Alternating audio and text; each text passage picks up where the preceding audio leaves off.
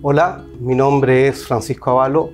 soy coordinador del programa de filosofía, convención en filosofía de la Facultad de Filosofía y Humanidades de la Universidad de Chile. Yo coordino eh, un programa que tiene ya una larga tradición, fue fundado en 1994, es tal vez de los primeros programas de doctorado de la Universidad de Chile y tal vez de los primeros programas de doctorado en filosofía de Chile. Por nuestro programa han pasado eh, eminencias y premios nacionales como Carla Córdoba, como Humberto Giannini. Actualmente contamos con un premio nacional como es Marcos García de la Huerta dentro de nuestro programa. La última renovación de nuestro programa ocurrió el año 2018 eh, con un nuevo reglamento en el que se hace énfasis sobre todo en el carácter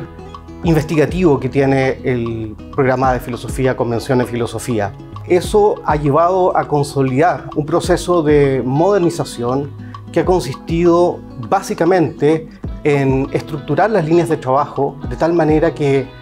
en ellas se dé un balance entre investigación formalizada en cada una de esas líneas de trabajo, junto con las líneas tradicionales como filosofía trascendental, como epistemología, filosofía de la ciencia, filosofía política, también hemos ah, retratado un conjunto de saberes filosóficos como son estudios de género, literatura,